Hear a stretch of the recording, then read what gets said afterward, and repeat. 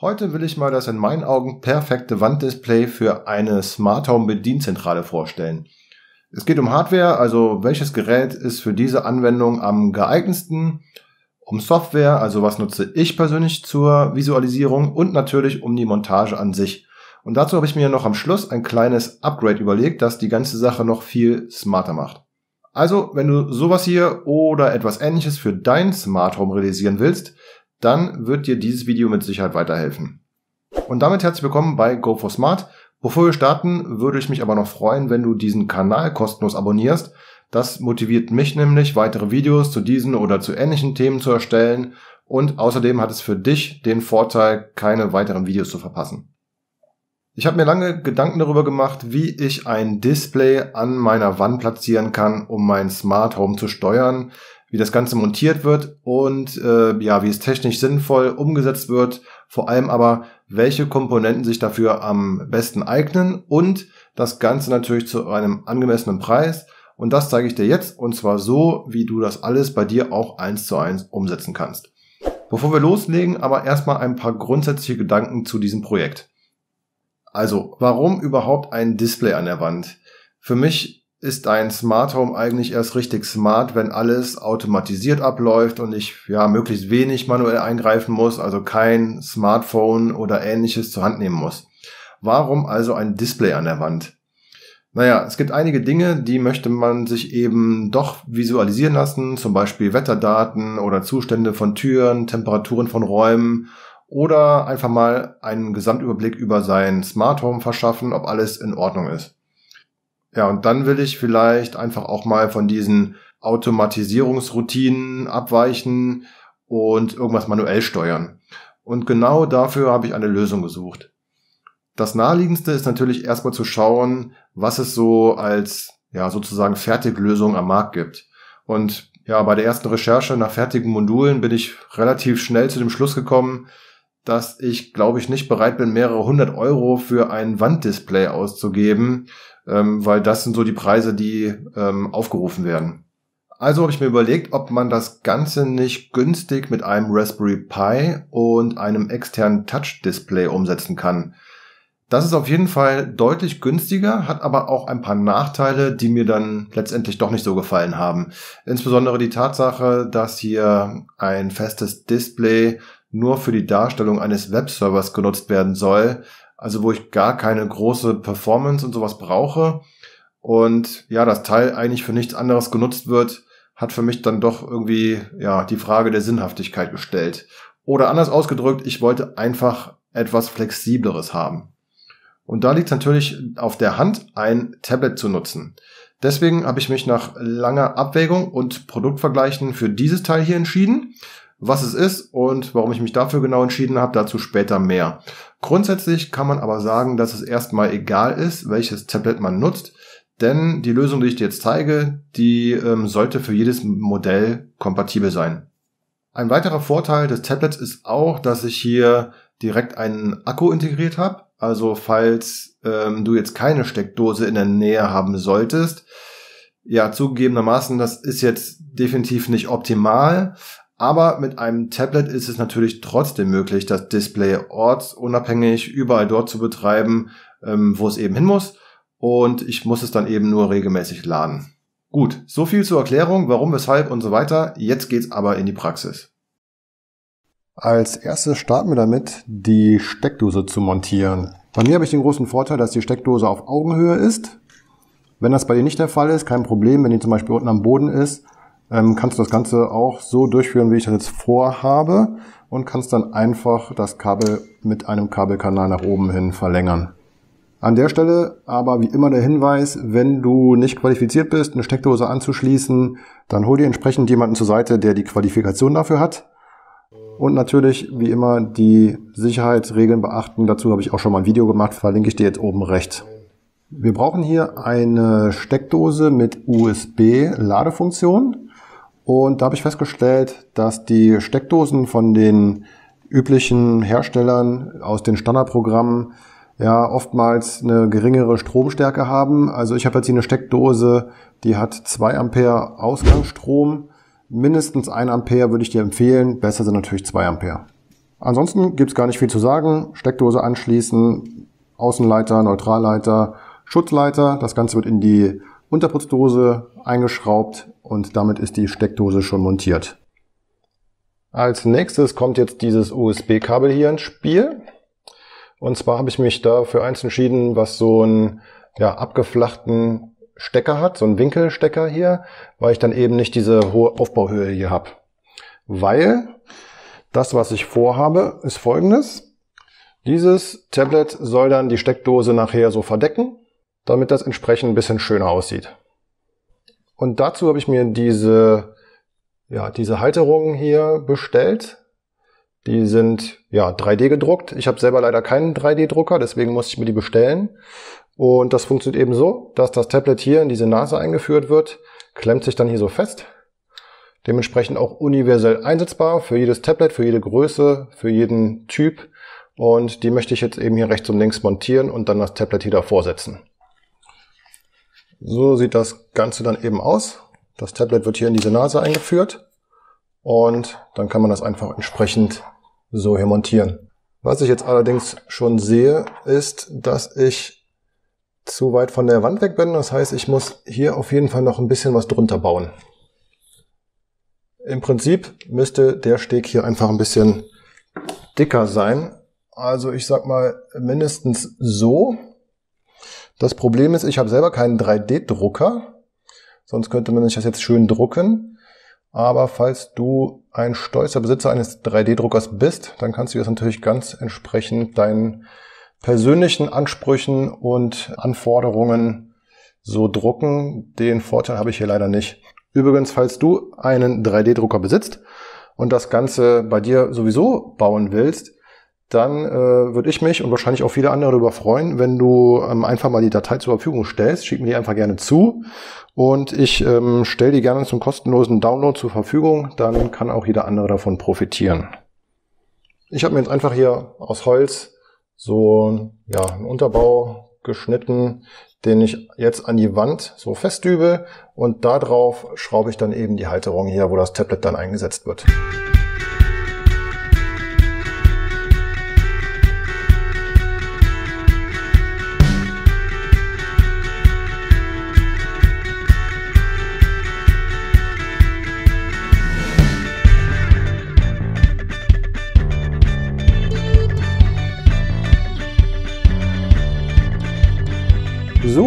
Die Halterung ist montiert. Und jetzt kommt der große Aha-Moment.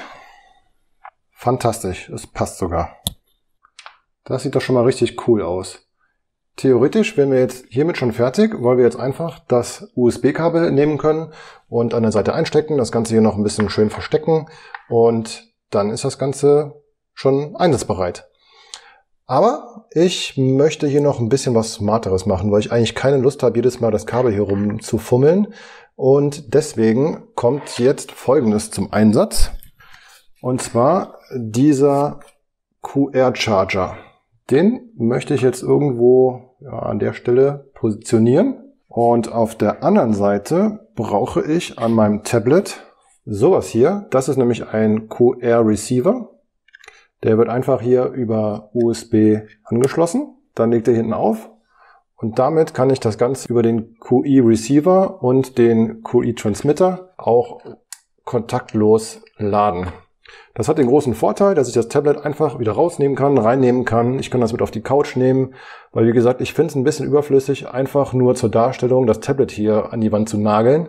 Viel cooler wäre ja, dass wenn man es einfach mitnimmt, auch mal Netflix damit gucken kann und wenn man abends das Ganze nicht mehr braucht, dann stellt man es einfach zurück, hier sozusagen in die Ladeschale, damit das über Nacht geladen und das Ganze kann ich dann auch sehr flexibel und individuell nutzen. Und das Ganze werde ich jetzt versuchen ähm, aufzubauen. Ich muss hier wieder ein bisschen was unterbauen, damit wir hier entsprechend ähm, Kontakt bekommen, beziehungsweise das ja relativ nah aufeinander liegt. Aber ich glaube, das könnte ganz gut funktionieren. Damit das Ganze nicht so blöd hier rumbaumelt, werde ich das Tablet einfach in so einen kleinen Bumper hier reinpacken. Damit kann ich nämlich gewährleisten, dass dieser QI-Receiver immer an der gleichen Stelle ist und genau positioniert ist über dem QI-Transmitter.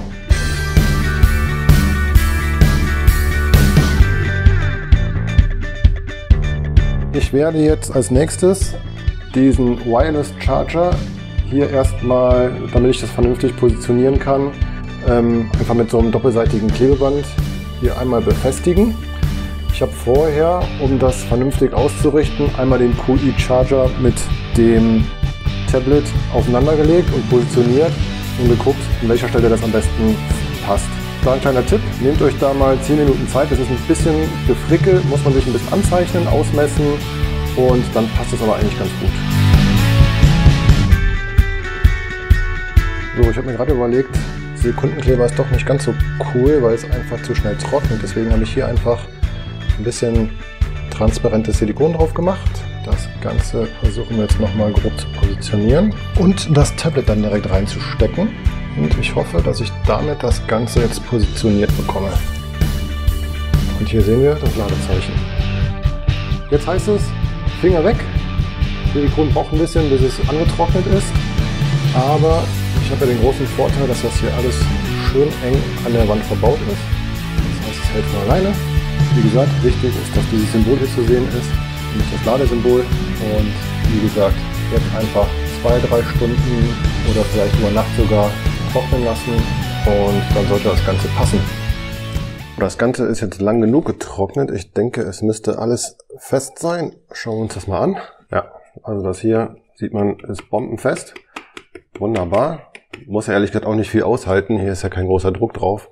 Aber es sollte halt nicht von der Wand kommen. Ja, worüber wir uns jetzt noch gar nicht unterhalten haben, ist, ähm, was das Teil hier eigentlich genau ist. Und ähm, darum geht's jetzt.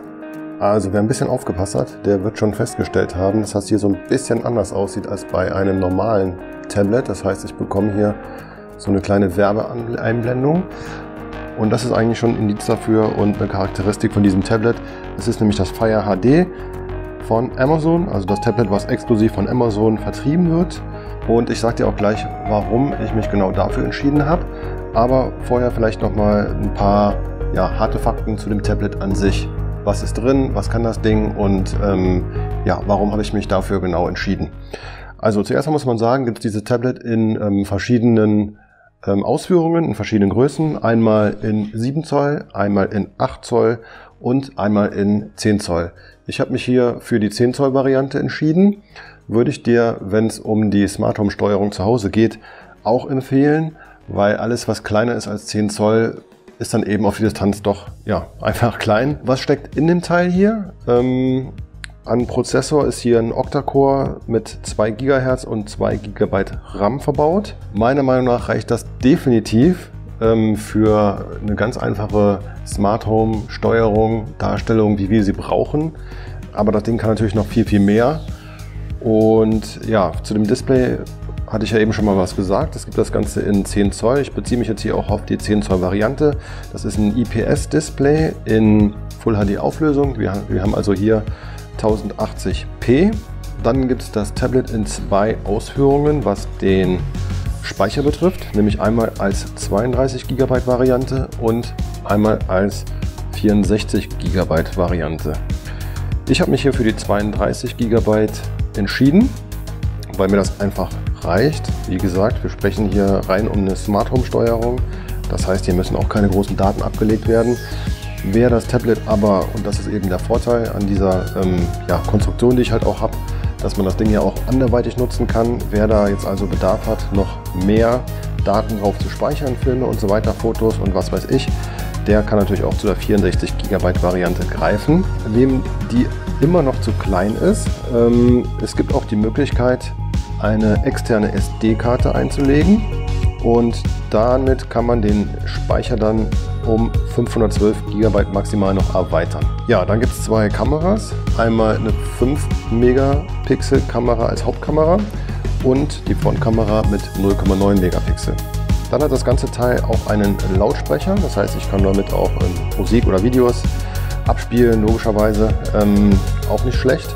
Dann ist das Ganze auch noch Alexa-kompatibel. Ja, wen hätte es gewundert? Das Ding kommt eben von Amazon, also wird auch Alexa unterstützt. Zusätzlich habe ich noch Bluetooth 4.0, was unterstützt wird. Brauche ich jetzt persönlich nicht, aber es ist halt dabei. Und von den Anschlüssen kann man sagen, es gibt einen Klinkenanschluss. Das heißt, ich kann ja, Kopfhörer und so weiter anschließen. Ich habe einen USB-C-Anschluss, der dient ähm, auch zur, ähm, ja, zum Laden des Displays. Ähm, wichtig eben, wenn man sich den QI-Ladeadapter kauft, also den ähm, Receiver, dass der eben einen USB-C-Anschluss haben muss. Und dann eben noch den MicroSD-Speicherslot, wo ich eben meinen externen Speicher noch erweitern kann. Akku gibt es natürlich auch. Und ich habe jetzt leider nichts zu der Kapazität gefunden, aber Amazon sagt, dass hier mit einer vollen Akkuladung 12 Stunden Lesen, Surfen und so weiter möglich ist. Jetzt möchte ich noch ein bisschen auf Vor- und Nachteile von dem Ganzen eingehen. Also fangen wir erst mit den Nachteilen an. Der größte Nachteil in Anführungsstrichen oder ja das größte Thema, wo man glaube ich darauf hinweisen muss und darüber sprechen muss, ist eben, man sieht es auch hier, ähm, es gibt kein ja, Standard-Android-System, was hier drauf läuft, sondern Amazon hat hier ein Fire OS-Betriebssystem installiert. Das bedeutet, das sieht hier alles ein bisschen anders aus als bei Android. Es ist relativ ähnlich, es gibt auch einen App Store, aber es ist eben kein Original Google Store und man kann sich hier auch wie beim Google App Store entsprechend Apps, Spiele und so weiter runterladen. Das sieht alles ein bisschen anders aus. Die Standard-Apps kann man hier auch alle runterladen, also The Zone, Disney und so weiter, die ganzen Mediatheken, das läuft alles. Netflix natürlich auch. Also es ist eigentlich alles dabei, was man braucht und für unsere Smart Home Steuerung sowieso. Dafür brauchen wir ja nur einen Browser. Ähm, aber damit fängt schon an. Es gibt halt ähm, den Original Amazon Silk Browser nennt er sich. Der sieht hier so aus. Und ja, damit lässt sich dann ganz normal unsere Smart Home Steuerung hier auch ähm, bedienen, darstellen und so weiter. Ne? Das geht alles, ist alles kein Problem. Aber wenn man jetzt zum Beispiel unbedingt einen Chrome oder sowas braucht, dann ist das jetzt nicht so ohne weiteres möglich. Ein weiterer Nachteil, ich sage das hier einmal, wenn man das eben ausmacht und wieder einschaltet, dann bekomme ich jedes Mal hier so eine kleine Werbeanzeige. Also mir werden dann irgendwelche Filme, die aktuell auf ähm, Prime oder sowas laufen, angezeigt oder irgendwelche andere Werbung. Die muss ich einfach einmal wegschieben und dann bin ich ganz normal im Tablet wieder drin, auf meiner ähm, Oberfläche. Ja, das muss man eben wissen. Allerdings gibt es dieses Tablet auch in einer Version ohne diese Werbeeinblendung. Die kostet dann eben 15 Euro Aufpreis. Für mich ja, ist das jetzt kein großes Problem, deswegen habe ich die einfach mit Werbung genommen. Wen das nervt, der kann sich eben die Version ohne Werbung beschaffen. Da muss man wissen, es gibt keinen Umgebungssensor. Also das heißt, ähm, ihr kennt das vom Smartphone oder sowas, wenn draußen sehr starkes Licht ist, Sonneneinstrahlung, dann geht die Displayhelligkeit entsprechend hoch. Und ähm, wenn ich abends zu Hause bei gedimmtem Licht sitze, dann geht die Displaybeleuchtung entsprechend ein bisschen runter, damit ich eben nicht so angestrahlt werde. Und dieser Umgebungssensor, der fehlt eben hier beim Fire HD Tablet. Ist es nachteilig für unsere Smart Home Steuerung? Nein, ist es nicht. Ein weiterer Punkt, den man noch nennen muss, ist, dass dieses Tablet hier nur WLAN unterstützt. Das heißt, wer jetzt das Ding wirklich mal mitnehmen will, unterwegs im Auto, im Zug und damit online gehen möchte, der kann hier nicht mit einer SIM-Karte ja ins 4G oder sogar ins 5G-Netz wechseln und dann online sein, sondern der müsste sich dann mit seinem Smartphone einen Hotspot aufmachen und das Tablet dann mit WLAN verbinden. Finde ich jetzt auch keinen riesen Nachteil für die Smart Home Steuerung zu Hause sowieso nicht, weil das Ganze soll ja wirklich lokal bei uns betrieben werden. Dort ist WLAN und ja, von daher sehe ich das jetzt nicht so als großen Nachteil. Weitere Nachteile habe ich jetzt persönlich nicht festgestellt. Wenn dir noch irgendwas einfällt, schreib es mir gerne in die Kommentare. Ansonsten gibt es hier aber eine ganze Menge von Vorteilen und darauf will ich hier einmal kurz eingehen. Das erste ist die Akkulaufzeit. Ähm, ja, also Amazon gibt's ja an auf seiner Webseite zwölf Stunden lang lesen, surfen und so weiter. Ehrlich gesagt, ich habe keinen Langzeittest gemacht, wo ich zwölf Stunden lang nur gesurft habe. Deswegen kann ich leider nicht sagen, ob das wirklich zwölf Stunden oder nur elfeinhalb sind. Keine Ahnung. Ich kann nur sagen, ich habe das Tablet jetzt auch ähm, ja einmal vollgeladen und in der täglichen, im täglichen Gebrauch mal getestet mit ein bisschen Surfen, ein bisschen E-Mails, ähm, Filme gucken und so weiter und musste das Ganze dann einmal in der Woche ungefähr aufladen. Wie gesagt, ähm, wenn man es weniger nutzt, dann ist die Laufzeit noch länger. Was ich auch noch cool finde, ist ähm, das Display. Also das Display ist echt hell, scharf, hat echt satte Farben. Ähm, also genau das, ja, was mir irgendwie auch wichtig war, hat eine gute Auflösung Und außerdem ist das ganze Teil auch äh, sehr dünn, also es passt auch gut in die Halterung hier rein. Ähm, ja, alles Sachen, die ich eigentlich positiv finde. Und dann natürlich ähm, den externen SD-Kartenslot, wie gesagt, auch für die Smart Home Steuerung überhaupt nicht wichtig, weil da legen wir keine großen Daten ab. Aber wer trotzdem mal das Teil mitnehmen will in Urlaub, Filme gucken, ähm, Musik draufladen und so weiter, ist alles möglich, ähm, kein Problem. Ja, und zu guter Letzt, der, glaube ich, größte Vorteil dieses Tablets, und das war dann auch letztendlich der Grund und äh, mitentscheidend dafür, dass ich mich dafür entschieden habe, ist das Preis-Leistungs-Verhältnis. Also, dieses Teil hier kostet in der Version, wie ich es habe, also mit der Werbeeinblendung ähm, 10 Zoll, 32 Gigabyte Speicher, ungefähr 150 Euro. Wenn man dann ein bisschen mehr speichern möchte oder die Werbeeinblendung eben ähm, nicht mehr möchte, dann muss man auf eine andere Version gehen. Aber trotzdem, wir sind hier unter 200 Euro und ich finde für die Performance, für die Leistung, für die Komponenten, die hier verbaut sind, mit dem Display, mit der Größe und so weiter, ist das ein absolut super Preis und deswegen habe ich mich dafür entschieden. Auf jeden Fall deutlich günstiger als ein anderes System, was ich für ja, mehrere hundert Euro dann eben einfach nur an die Wand schraube, dann ist das da fest, genagelt, ich kann es für nichts anderes mehr benutzen. Ähm, das war für mich keine Option. Natürlich, ähm, Thema Preis-Leistung, du darfst hier keine Performance erwarten wie bei einem, ja, ich sag mal, iPad Air oder sowas. Aber dafür kostet das Teil hier, wie gesagt, 150 Euro und keine 700. Von daher muss das Verhältnis auch irgendwo passen. Und nochmal, für unsere Smart Home Steuerung brauchen wir keine äh, große Rechenpower, wir brauchen keinen Speicher. Es ist aber trotzdem alles hier in dem Fire ähm, HD Tablet. Von daher finde ich das Teil super und ich kann es dir auf jeden Fall empfehlen. Ich habe den Kauf auf jeden Fall noch nicht bereut. So, ich habe das Tablet jetzt ziemlich genau drei Wochen im Einsatz und ich möchte mit dir noch zum Schluss ein Fazit ziehen, weil ich habe ein paar Sachen geändert. Jetzt funktioniert alles optimal und die möchte ich gerne mit dir noch einmal teilen. Das erste, was ich gemacht habe, ist ein bisschen was an der Hardware zu ändern. Ich hatte vorher diesen Receiver hier verbaut. Da habe ich leider die Erfahrung gemacht, dass der nicht wirklich gut war. Der hat zwar geladen, aber der war ziemlich langsam und wurde auch warm. Also Wirkungsgrad war nicht so toll, deswegen habe ich mir was anderes besorgt und zwar diesen hier. Den habe ich jetzt getestet mit dem QI Transmitter und die Kombination funktioniert wunderbar. Also falls du da nicht rumprobieren möchtest, so wie ich, die Kombination habe ich getestet und die funktioniert auch. Dann gibt es zwei Sachen, die mich noch gestört haben. Und zwar das eine, ähm, ja, ich habe wirklich ein paar Apps gebraucht oder wollte die einfach nutzen, die es beim ähm, App Store hier bei Amazon nicht gab. Beispielsweise diese Sonos-App, um meine Multiroom-Lautsprecher zu steuern, ist leider nicht alles verfügbar. Das hat mich so ein bisschen gestört. Und das zweite ist, ja, tatsächlich diese Werbeeinblendung, dass ich jedes Mal hier ähm, swipen musste. Das hat mich am Anfang gar nicht so gestört, aber irgendwann nervt es dann doch. Und für die zwei Sachen habe ich einfach eine Lösung gesucht. Du siehst es hier schon. Ich habe tatsächlich den Play Store auch auf dem Fire Tablet installieren können. Das ist aber nicht alles. Ich zeige dir jetzt noch was. Du siehst, das Tablet befindet sich jetzt im Standby-Modus, ist also aus. Und vorher war es ja so, dass man immer oben links den Knopf an der Seite drücken musste, um das Tablet aus dem Standby zu erwecken. Und jetzt ist es so, ich hoffe, man sieht das, wenn ich mich mit der Hand dem Tablet näher, dann, ich habe hier nirgendwo gedrückt, dann geht das Display direkt an. Das heißt, ich sehe hier auch keine Werbeeinblendung mehr, sondern ich bin direkt auf meiner Smart Home Oberfläche und kann eben entsprechend hier dann mein Smart Home steuern. Ich glaube, das Video hat jetzt mittlerweile schon ähm, eine ordentliche Länge erreicht, deswegen möchte ich das jetzt nicht alles hier noch in die Länge ziehen. Ich habe das Ganze ähm, in so einer kleinen Anleitung zusammengeschrieben, die du dir runterladen kannst. Dort müssen eben einige Einstellungen im Tablet vorgenommen werden. Ähm, es gibt auch ein paar Tools, die man dazu runterladen muss. Die Tools sind aber kostenfrei. Wenn du das bei dir umsetzen möchtest, dann schau mal in die Videobeschreibung. Dort gibt's den Link und da kannst du dir für wenige Taler die Anleitung runterladen. Jetzt wünsche ich dir erstmal viel Spaß beim Nachmachen. Ähm, ich hoffe, ich konnte dir ein bisschen helfen.